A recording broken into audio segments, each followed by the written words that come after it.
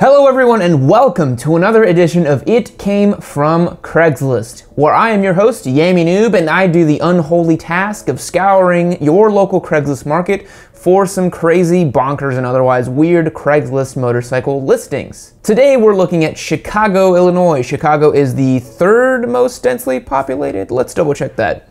My browser auto-corrected to Chicago Craigslist. That's, that's how much it knows me. Yes, it is the third most populous city in America. Just kind of crazy. I feel like people kind of overlook Chicago, uh, but it's a, a, really major US city. You kind of never think about it, but it's pretty big, yeah. Uh, Chicago not as insane as Cleveland, but uh, still some pretty interesting, some pretty wonky motorcycles in here. Um, think you guys are really going to enjoy this one. Quick shout out before we begin though, uh, I am selling merch again. Um, I realized that I had a bunch of stickers and reservoir covers left over. So uh, if you click the link in the description below or the comment that I'll pin on this video, uh, you can check that out. Got stickers, got reservoir covers, got a combination of both if you'd like to buy both of them. Um, so yeah, check it out. Let's jump in. First up, we have this 1978 Yamaha XS 400 replica TD2. Guy wants 1290 for it. Pretty decent price for it. Um, this looks like a custom build of some sort. Uh, although, you know, it's funny because you, you, look at the, the, the, gas tank and the seat and you're like, whoa, this thing's really interesting. But um, he's got a shot here of kind of a close up of the forks and the speedometer. And you can tell this is one of those, like, 15 foot kind of bikes where 15 feet away you're like, damn, that thing's sick. But then as you get up closer, you're like, oh, that's not so great. So this guy says, tired of the overused cafe racer look, but still want a bike that stands out from the crowd? Here's a 1978 Yamaha XS 400 modified to replicate the look of the Yamaha TD2 you might have seen at the Grand Prix in the 70s. My dude, I was born in 1992. Uh, would not have seen this in the 70s. Pretty cool little bike, I think. Um, I think it's interesting because, you know, it's definitely uh, a looks over performance sort of bike. I mean, the tires look really aged, really tiny. So I think you'd get a lot of cool looks for it because like, well, that's a really interesting motorcycle, but um, don't know about the actual performance of it. Also, those bars look so impossibly low. I know it's a cafe racer, but you're gonna be like way down here with it. 1290, not bad, moving on. Up next, we got uh, Harley Davidson for 15 grand. Uh, hope that it comes with this, this sweet daddy for this motorcycle. Um, I hope he is included in the package deal. Says 140 horsepower, two inch old school open primary. I'm assuming that has something to do with the exhaust, which is why Harleys are probably so fucking loud. Um, solo seat with springs, Springer front end, wide front tire look, never dropped, awesome bike. Yeah, this looks like a, uh, honestly, of all the Harleys I've seen on Craigslist, um, this looks like a decent one. It's not some insane chopper. It's not some crazy done up thing. Uh, the price I think is reasonable for a Harley. Uh, it doesn't say what year and doesn't say what it is. So it's kind of like, well, what am I really looking at here? Um, but I think my perception is also skewed on these because I've only ever seen $50,000 30 inch front wheeled massive stupid Harleys. So I have no perception of what these should actually cost. For me, I'm like 15 grand buys you a top end liter bike of a current year. So I don't understand why someone would pay that much for a Harley. But I digress. I also like how this guy has screenshots of the listing of the bike that is for sale. Uh, it's the same thing, it's just crappier from a cell phone, so I think that's hilarious. 15 grand's kind of nuts, would definitely not pay that for this, honestly. Um, but yeah, if you want a Harley with 140 horsepower, this is yours. I, I kind of doubt that it has 140 horsepower, I'm not gonna lie. Um, not really seeing how that's possible, but maybe it's all modified, who knows? Moving on. we got a 2009 Suzuki Hayabusa motherfucker for 12 grand.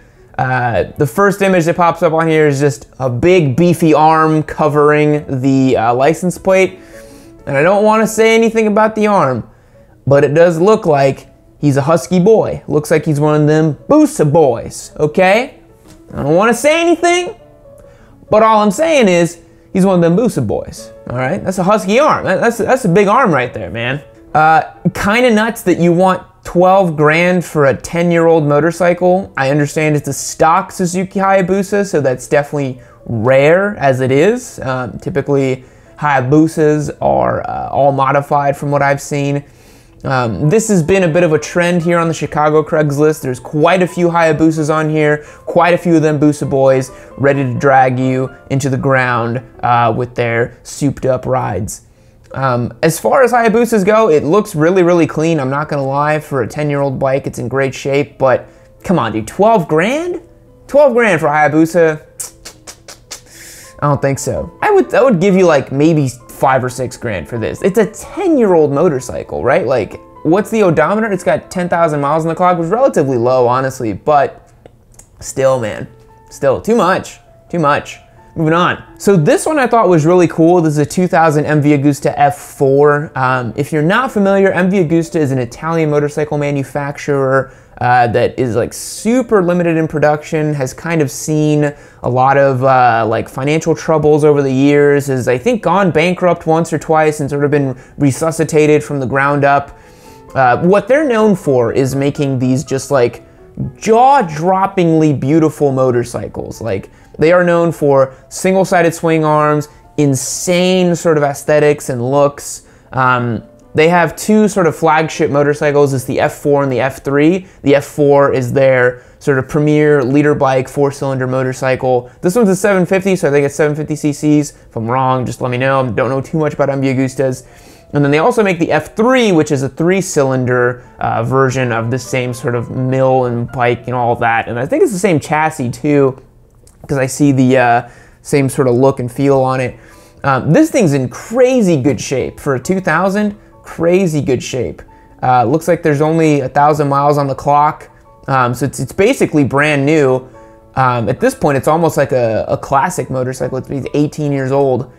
Um, what I really like about these is they have the sort of quad exhaust at the rear that you can get with some aftermarket stuff. Like I know that some of the aftermarket exhausts for the R1s have this like sort of quad pipe, but these came stock with the quad pipe, which is really sick. Um, MV is such a interesting and cool bike.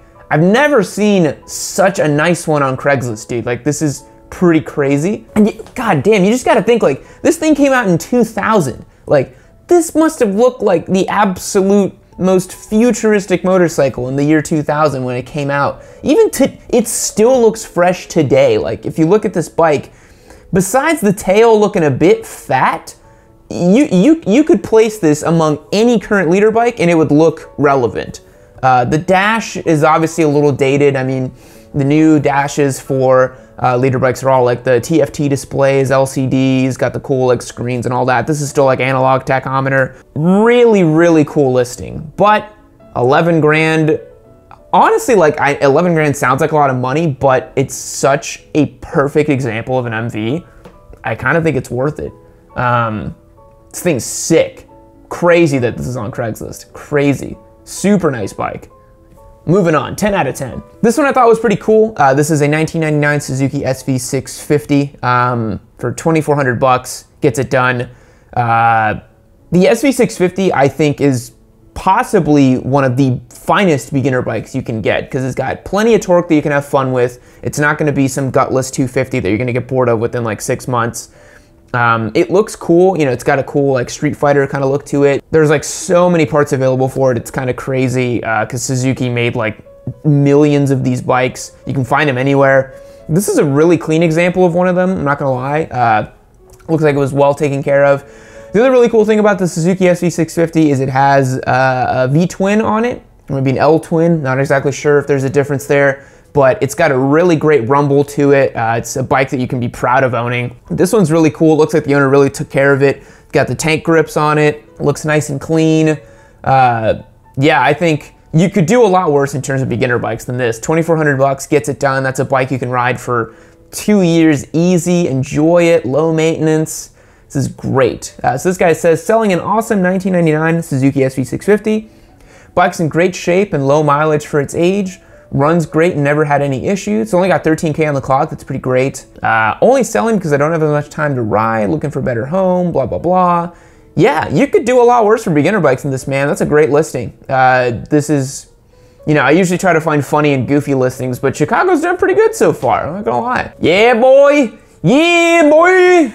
2011 Suzuki Hayabusa, 9,500 bucks. Uh, this is it, boys. This is another one of them Busa boys right here. you can't, I mean, how, how can you deny it, right? This one has the, uh, God, like, uh, the, the graphics on the Hayabusa are just something else, aren't they? You, you got this like spray paint graffiti looking Japanese lettering on it. The, the Hayabusa is in a class of its own, isn't it? Um, this one's a bit more modified than the other one. Uh, actually got a, quite a bit of modifications. It says reduced price, tastefully modified by Brock's full Brock's header, Brock's alien head, Brock's remap, Brock's window, Brock's, Brock's, Brock's, Brock's, Brock. he says runs like a mofo and is much quicker than my 2009 Suzuki Hayabusa that I also own in Florida. Of course you live in Florida. Of course you have another Hayabusa. You're one of them Busa boys. Of course you do. That's great have too many bikes ready to sell. That's never a problem, my friend. You always want more bikes than you can handle, that's for sure. 9500 gets it done for this one. Not a bad price for the level of modification that's on it. Um, this one also looks like it only has about 10,000 miles on it, which is great. I think it's gonna run perfectly fine. And if you're looking for one of them Busa boys, if you're, if you're trying to be a Busa boy yourself, this is your ticket in. Already done, ready to go. Moving on.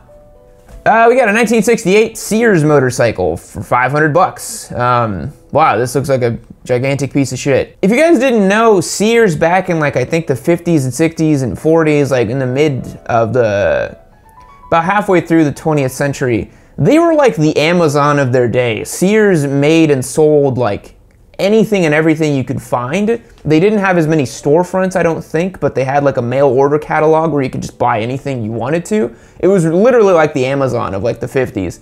Um, so I guess they also made motorcycles, which is insane.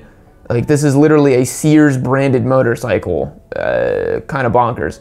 Um, I can guarantee you, if you can get it to run, it'll run like absolute trash. Uh, this looks like a terrible motorcycle. Um, Looks like all the components on it are really cheap. You know, kind of an interesting history piece, I guess, if you wanted to do that.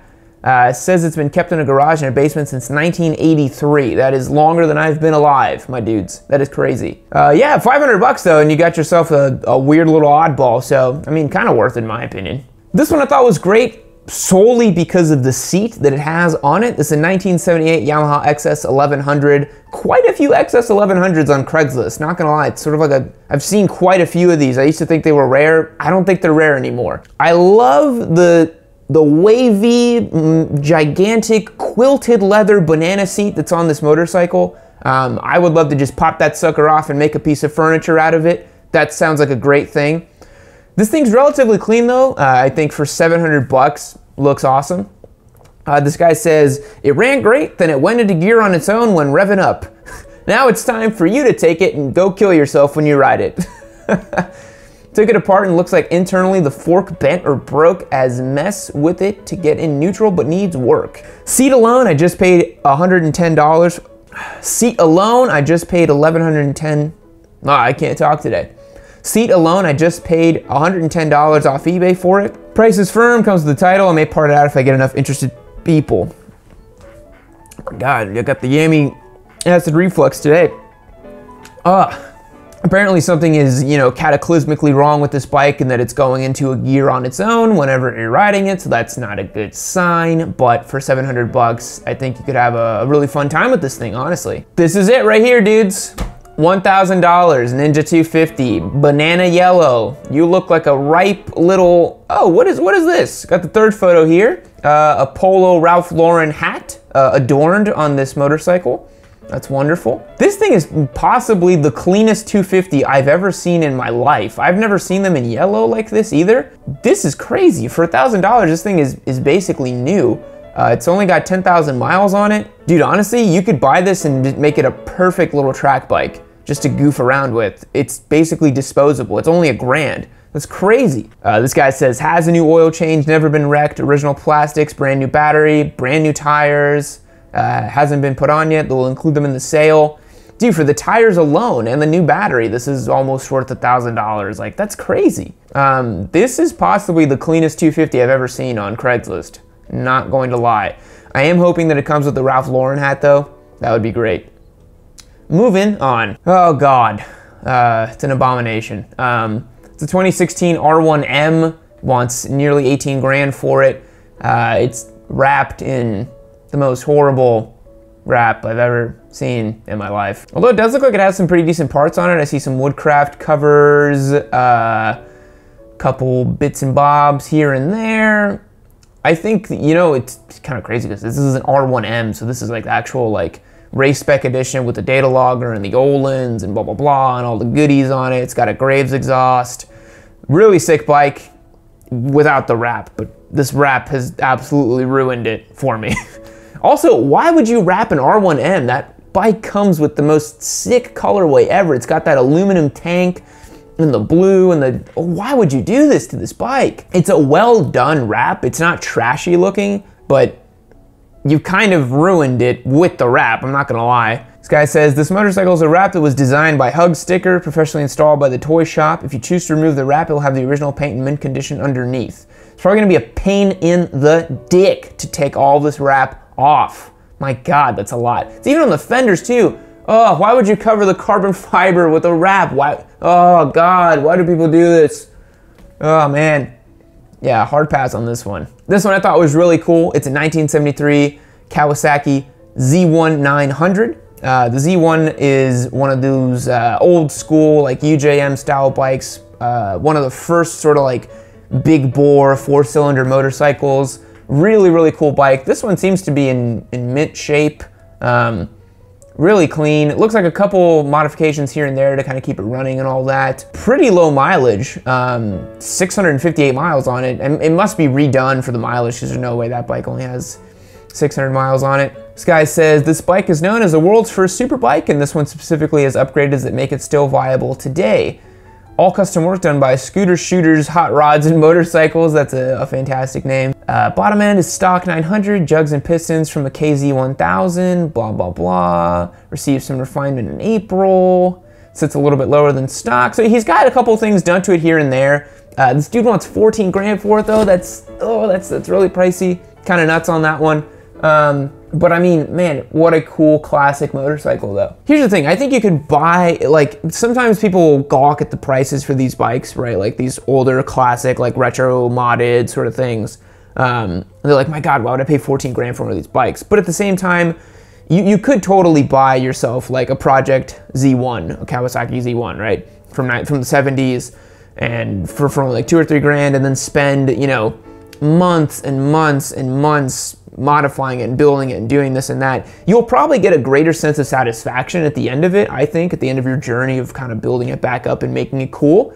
But if you just want that classic look, I think you're better off just like buying one of those like uh, Triumph new classics or I mean the BMW R9T it's a similar price to this kind of stuff, and, and I think you're gonna have modern performance and modern amenities. So I don't really understand the market that these exist in, right? Like, because if you wanted a classic bike, you would just do it yourself. And if you wanted to spend 14 grand on a bike that looked classic, you would just get one of these, you know, retro modded or retro classics or modern classic, modern retro, you know what I'm talking about, those bikes. You would just do that instead. So I'm not really sure where these fit in. And this is just a car that's on the Craigslist. Uh, it's a 1967 Impala Super Sport Classic, 31 grand. Don't know why it's here, but it's it's just uh, just here.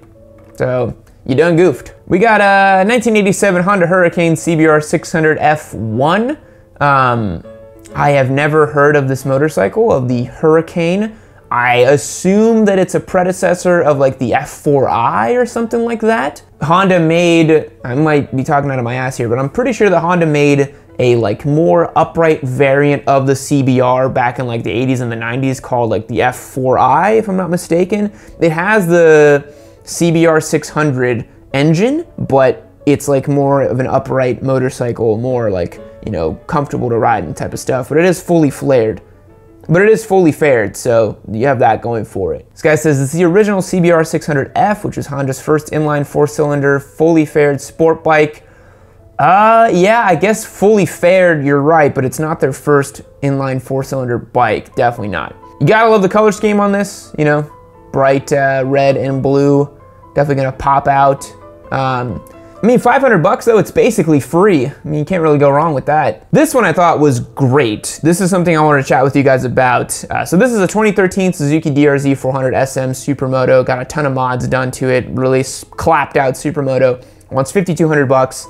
Um, I am of the opinion, and I know that not, not everyone's gonna agree with me on this, but I am of the opinion that if you want a Supermoto, you should just buy someone else's project Supermoto. Um, it's gonna be so much cheaper than buying a dual sport and then converting it to a supermoto. These supermotos, dude, sometimes you can spend up to like 10 grand getting these things all prepped and ready. Like, so for example, if you bought like a, a WR450 um, and you you know, made it into a supermoto, you could easily spend 10 grand doing that between the wheels and the tires and the and all the little bits and bobs that you need to actually convert it to a supermoto and then getting it like road registered and all that you're way better off just buying someone else's project supermoto and then just kind of fixing it and making it better. You do run the risk of it being one of those you know, you never really quite know what you're going to get when you're buying a bike off Craigslist. Um, it could have gremlins in the in the engine or the suspension that make it kind of shitty, but I think for the price reduction you're getting for it, it's way, way, way worth it. So this one looks to be in great shape. Uh, Suzuki makes from the factory the DRZ as a Supermoto. You actually can get the DRZ 400 SM in a Supermoto variant, but this guy looks like he's gone the extra mile and done all the little bits and bobs to actually make it into a Supermoto. Um, I really like how this one has the more dual sport, like chunky tires. It's not the, the slick kind of supermoto tires you normally see, which makes it so you can still kind of use it off-road a little bit, not as much because it's not full knobbies, right? There's sort of that in-between tire. Um, so this guy says, bike's in beautiful shape with no flaws, been meticulously cared for, uh, take detailed photos of it. And this is something I love to see on Craigslist is when someone has like upwards of 20 photos of the bike. It's been taken on an actual camera. The, the lighting is correct and it, you have close-up shots of it. This thing's in great shape, like great, great, great, great, great shape. Um, he lists out all the mods, like everything is is ready to go here. Like this is the kind of listing that makes my soul happy. You know, like this is great.